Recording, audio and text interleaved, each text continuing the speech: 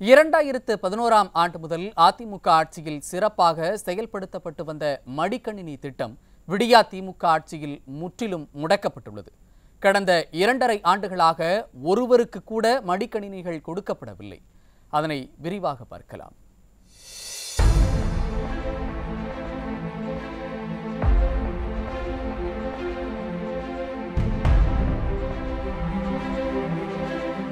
அறிவியல் தொழில்நுட்பத்தில் தமிழ்நாடு மாணவர்கள் சிறந்து விளங்க வேண்டும் என்ற நோக்கத்திற்காக அம்மா மடிக்கணினி திட்டம் அதிமுக ஆட்சியில் கொண்டு வரப்பட்டது. எடப்பாடி கே. பழனிசாமி தலைமையிலான அதிமுக ஆட்சியில் இந்த திட்டமானது சிறப்பாக செயல்படுத்தப்பட்டது.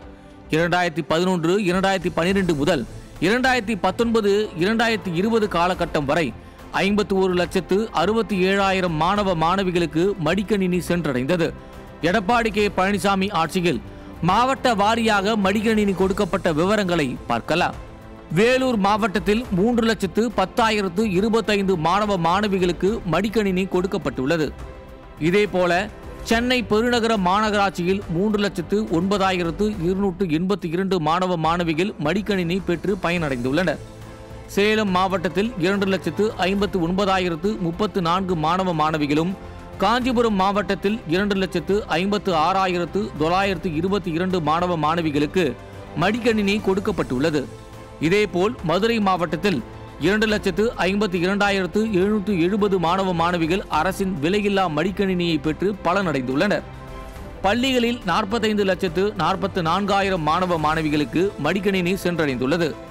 அதாவது எடப்பாடி கே பழனிசாமி ஆட்சியில் எண்பத்தி ஏழு புள்ளி ஒன்பது ஐந்து சதவீதம் பேருக்கு மடிக்கணினி கொடுக்கப்பட்டது.